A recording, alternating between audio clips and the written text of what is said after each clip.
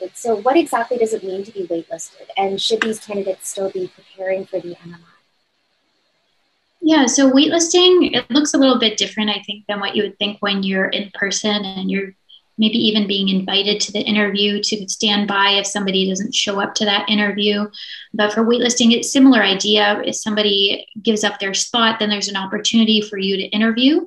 So I would say it's of utmost importance to still prepare as if you have an interview because there's the opportunity for you to still interview. And I, I, know it could be a little bit disheartening not knowing for sure if you're going to interview or not, but I would say it's only to your benefit that year, if not the next year, applying as well, that you're preparing for that interview as if you had an interview.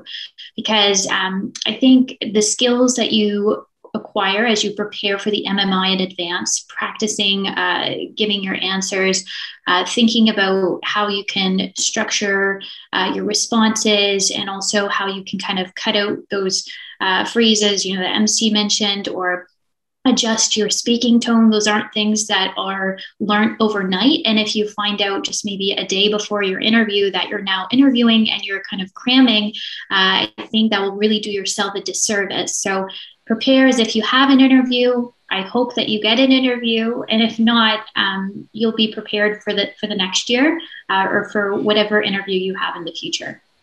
Yeah, I just want to add. I saw a really cool quote uh, recently on Instagram. It, was, it said something like, um, "You know, you don't start from scratch. You start, you start from experience." So I think in this context, it's kind of a good thing to think about. Like, if you're waitlisted and you practice, you might not apply it right away, but who knows, you might apply it in the future. And again, if you're talking about, you know, practicing your tone, your speed, this is things, even if you don't reapply next year, it's going to be things you can use in your everyday life.